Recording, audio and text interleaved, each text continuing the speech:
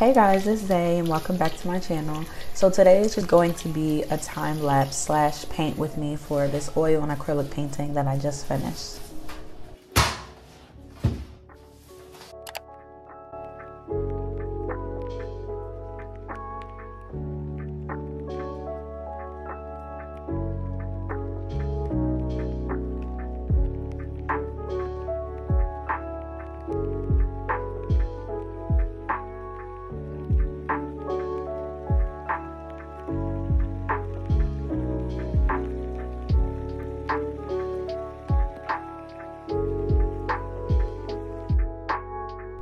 So this was a different process for me because I've never really done a sky or like landscape paintings like in this capacity before, but it was still fun and I still loved it.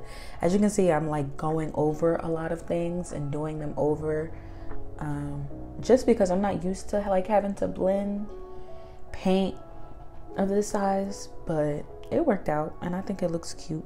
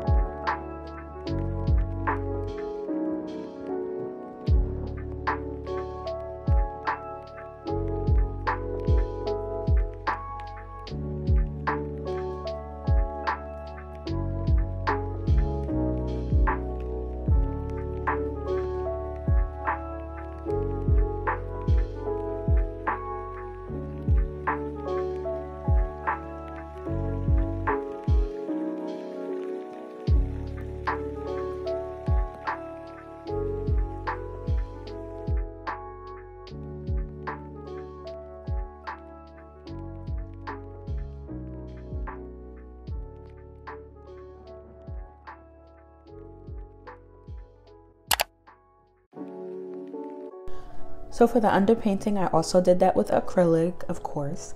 It's just watered down paint. Like I just put a small amount of paint down and then put a bunch of water in it, mix it together. And you know, I just block out the highlights with a damp paper towel and then I go over with like thicker paint for like the shadows, such as her cheekbone or her neck or like her hair.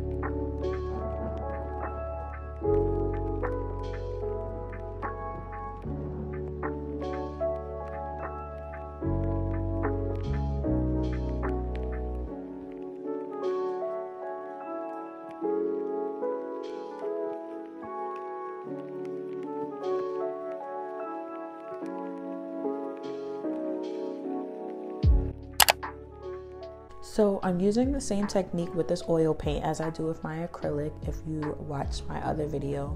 So I'm basically just putting down the dark tones, the mid tones, then the light tones. And you know, I'm gonna save all the details and finishing touches for later.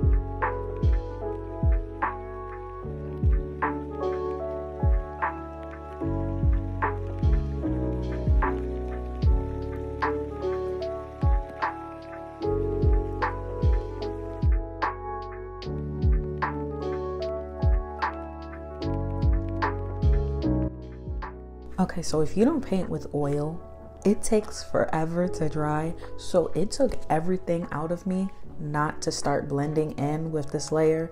Otherwise, it would have just like smudged all over the place.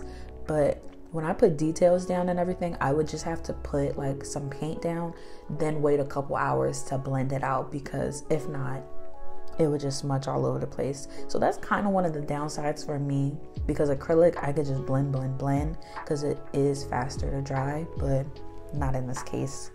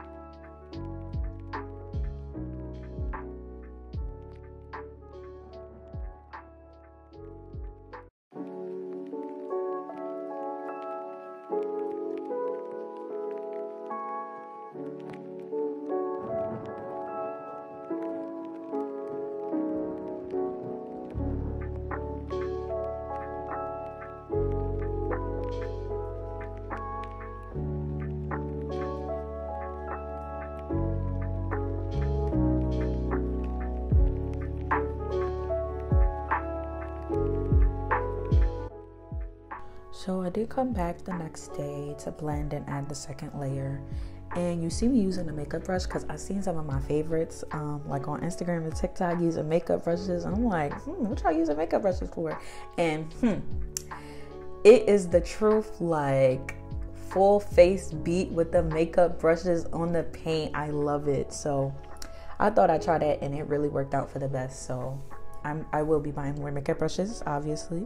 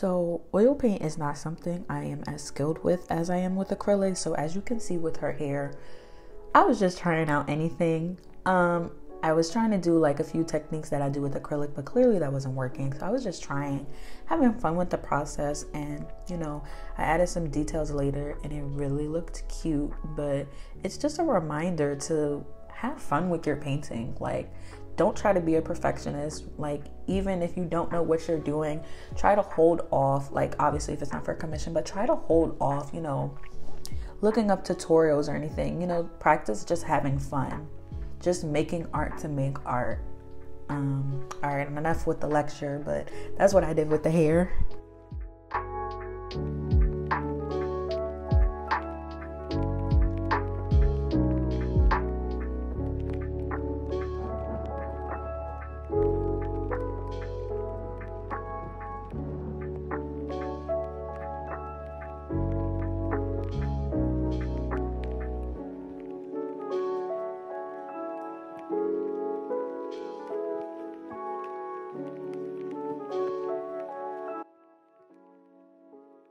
Her shirt and her head wrap, I went back to acrylic and what I did was add white gesso to it to make it more thick and opaque.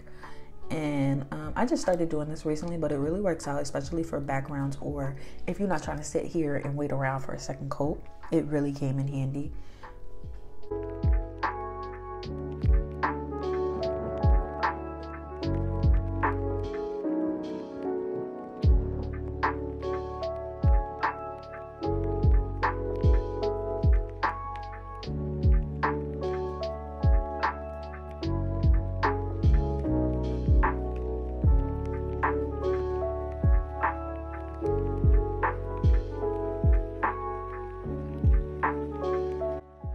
So I did some floral art behind her, behind the scenes, because it was super detailed, and I just knew my head was gonna be in the way, and I'm just like, why even waste your time doing that? And you're gonna try to record it and then put it in a YouTube video, and then they're gonna be like, what was the point of putting this in a YouTube video, girl? We can't even see.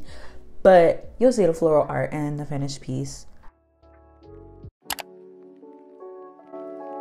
So here is the final piece. Um, one thing that I'll say about the colors of oil paint is they really jump off the canvas. Like they are so vibrant in comparison to acrylic paint, or at least the acrylic paint that I work with. Like the colors are very, very rich. So I really love that. Um, I just love how this piece came together.